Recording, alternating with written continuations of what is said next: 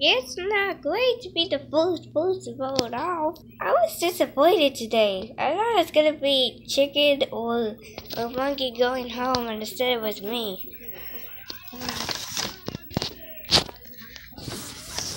And I hope people come to redemption, and I can beat them in that duel.